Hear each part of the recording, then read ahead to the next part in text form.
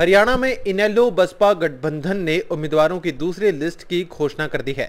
इनेलो की तरफ़ से जारी लिस्ट में सात उम्मीदवार घोषित किए गए हैं। इस लिस्ट में सबसे ज़्यादा चौंकाने वाला नाम शीला राठी का है। वो इनेलो के पूर्व प्रदेश अध्यक्ष नफे सिंह राठी की पत्नी है। कुछ महीने पहले नफे सिंह राठी की गोलियाँ मारकर हत्या कर दी गई थी। एनएलओ के प्रधान महासचिव अभय चौटाला के छोटे बेटे अर्जुन चौटाला को रानिया से उम्मीदवार बनाया गया है। 2019 के चुनाव में यहाँ से उनके दादा रणजीत सिंह चौटाला निर्दलीय विधायक बने थे। अर्जुन इनेलो की यूथ विंग की राष्ट्रीय कार्यकारिणी के अध्यक्ष हैं। उन्होंने 2019 में कुरुक्षेत्र सीट से चुनाव लड़ा था और हार मिली थी। कलायत से रामपाल माजरा को टिकट दिया गया है। माजरा पार्टी के प्रदेश अध्यक्ष है।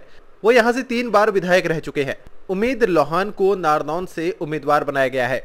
वो चौटाला परिवार से बरसों से जुड़े हैं। चौटाला परिवार में फूट के बाद वो जेजेपी के साथ चले गए थे। जेजेपी ने पार्टी विरोधी गतिविधियों के चलते 2019 में बाहर कर दिया था। इसके बाद कांग्रेस में शामिल हुए। अभय चौटाला के कहने पर दोबारा इनेलो के साथ आ गए हैं। उनकी अभय चौटाला के करीबियों में गिनती होती है। शेर सिंह बड़श्यामी को लाडवा से उम्मीदवार बनाया गया है। वो यहाँ से विधायक भी रह चुके हैं। जेबीटी भर्ती घोटाले में पूर्व सीएम ओपी चौटाला के साथ बडशामी को 10 साल की सजा हुई थी।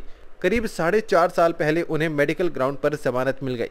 इससे पहले इनेलो बसपा गठबंधन की पहली लिस्ट में चार उम्मीदवारों की घोषणा की गई थी।